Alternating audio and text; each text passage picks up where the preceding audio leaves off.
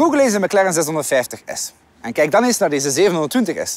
Zie je nog veel gelijkenissen? Ik dacht het niet, hè. Dat is niet verwonderlijk. 91% van de onderdelen van die 720S zijn compleet nieuw. Dus zou je kunnen stellen dat die 720S ook twee keer zo goed is dan de 650S. En daarvoor zijn we vandaag hier, om dat uit te zoeken.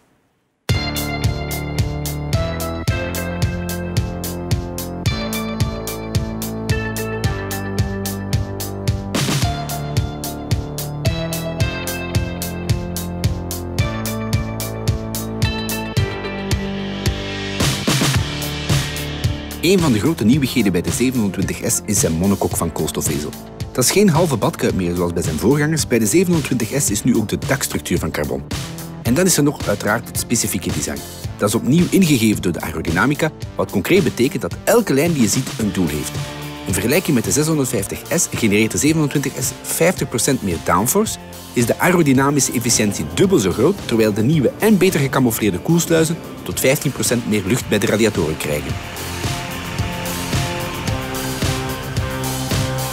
Basis van de 4 liter V8 turbo blijft weliswaar dezelfde als die van de 3,8 liter uit de 650S, maar de turbo's, de uitlaat, de zuigers, de krukas, eigenlijk alles wat ertoe doet, werd herbekeken en vervangen. Met resultaat trouwens, want met de 720 pk en 770 Nm die je nu ter beschikking hebt, sta je in 2,9 seconden aan 100 km per uur.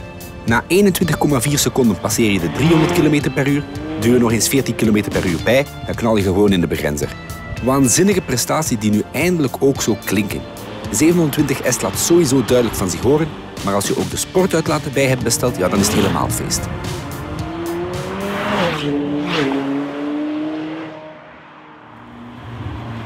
Ook de actieve ophanging kreeg een serieuze update. Elke demper krijgt nu twee sensoren waardoor elk wiel afzonderlijk zich nu nog sneller aan kan passen aan het wegdek. Het maakt de 720S vooral breder inzetbaar. In de trekstand is hij bijvoorbeeld extremer dan de 675 LT en in comfort rijdt hij dan weer zachter dan de 570 GT. Dat is een soort van Jekyll en Hyde stand waartussen je kiest met twee draaischakelaars. Ja, inderdaad, net zoals je dat doet bij elke McLaren. Al is het meest magistrale misschien wel de manier waarop de 720S omgaat met al dat vermogen. De McLaren is zo belachelijk eenvoudig te rijden dat iedereen er rap mee kan zijn. De besturing is licht, maar zo precies, er is zoveel grip en de McLaren blijft ook ten allen tijde stabiel. Valt misschien nog het beste vergelijken met het stuurgedrag van een Lotus Elise, zij het in deze onnoemelijk veel sneller en comfortabeler.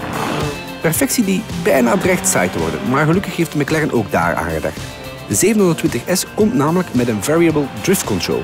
Dat is elektronica die de tussenkomst van het ESP stelselmatig terugschroeft, zonder het echter volledig uit te schakelen. Een functie die iets wat on-McLarens is, je voelt dat de 720S vooral werd gebouwd om zo zuiver mogelijk de koor te volgen. Maar het geeft wel aan dat de Britten toch geprobeerd hebben om een soort pretfactor te verwerken in hun superseries. Hij is een heel stuk sneller dan de huidige richting supercars en hij is veel bruikbaarder dan de hypercars. Dus eigenlijk zou je kunnen zeggen dat deze 27S het beste biedt van beide werelden. En daar staat de McLaren vandaag redelijk alleen mee. Want om maar één merk te noemen, de Ferrari bijvoorbeeld, hebben dat momenteel niet in de aanbieding. Ik ken er een paar die zeer jaloers zijn.